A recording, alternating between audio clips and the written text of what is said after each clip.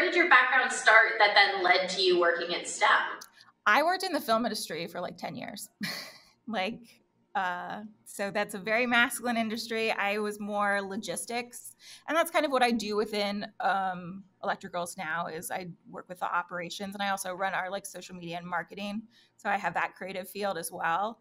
So I can't say that I necessarily had it. I definitely had an interest that I I feel like as a young girl, you know, teachers were like, your brother's better at math, you're not the math person or something like that. And I believed him. I, I think my, my experience is similar to yours, unfortunately.